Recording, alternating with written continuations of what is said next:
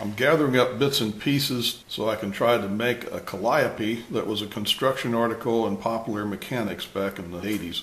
One item I need for the control valves for each pipe in the calliope is a good quality hinge. And in today's market, that seems to be fairly difficult to find. I had purchased some of these on eBay and different places, and they were very bad quality, flimsy, and you could hardly open and close them. These are a national hardware product. They're better. I need quite a few of these and less than half of them will operate freely. This hinge needs to be very loose and you need to be able to move it like this. I could buy more packets of these and have about a half of them usable. And when I say usable, you can hardly bend this. It's way too stiff. So I made this contraption and I chose to use two aluminum blocks and these are 440 screws that hold that hinge in place very firmly. When I attach the hinge on there, I can open this up and I can bend it this way, which tends to open that hinge and then I can bend it side to side this way, flex it a little bit. I can open this and flex it a little bit this way and see if that helps open that up. And it does. Mind you, this has already been on the hinge exerciser for about a half an hour. So between screwing this on here and bending around on this a little bit to try and free up that hinge, then I put it on the exerciser, applied 800 grit oil-based lapping compound. Then I operate it in this range. I operate it in this range. I operate it in this range. And then that hinge will be usable. So I've taken that off. And now this is not quite as free as I would like. It's not too bad in this range right here. I'm going to exercise a little more back here on this back side. This will be the area where it will be operating. I'm going to go ahead and free that up over here a little more. If for no other reason than I can. I can put this on the machine and give this thing several thousand cycles in an hour and vary the position that it's operating in. And these should operate just as freely as the others. I didn't want to spend a whole lot of time making this mechanism. I had a 48 RPM motor. It had a cooling fan on it. I had already made this drive hub for another project. It goes on here. There's a set screw, lock it on that flat.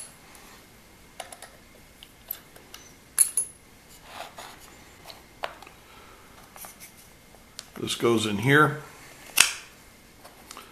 This attaches to here.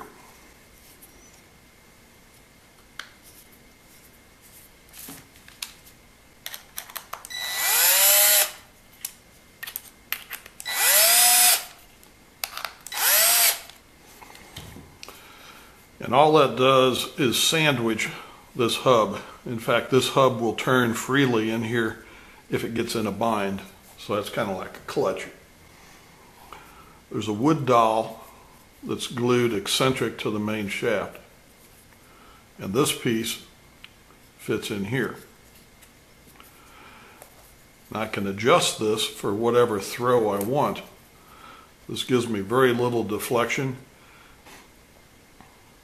This gives me maximum deflection. And I've been running about here.